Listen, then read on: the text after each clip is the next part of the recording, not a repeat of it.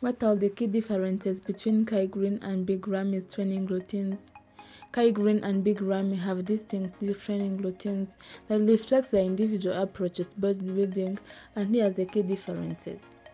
Training duration Kai Greene is known for his long, intense workouts that can last up to 3 hours. He believes that longer workouts allow him to rest his muscles and stimulate growth. Big Ramy, on the other hand, tends to keep his workouts shorter, typically lasting around 45 to 60 minutes. Exercise selection Kai Greene does not believe in focusing on specific exercises for certain body parts. He feels that every exercise plays a role in his overall development and that no single exercise is more valuable than another. Big Ramy, while also not adhering to a strict routine, tend to focus on compound exercises such as squats, deadlifts, and bed presses. Weight and reps. Kai Greene does not believe in importance of weight and reps. He feels that the weight does not matter and that the focus should be the overall workout and muscle development.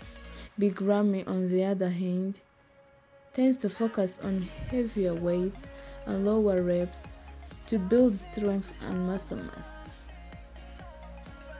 Warm ups Kai Greene is known for warming up with pull ups before his workouts, regardless of the body part he is training.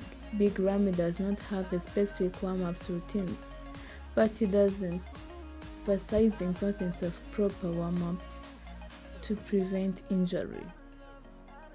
Reg training Kai Greene is known for his intense reg workouts, which can include exercises like step ups and lunges.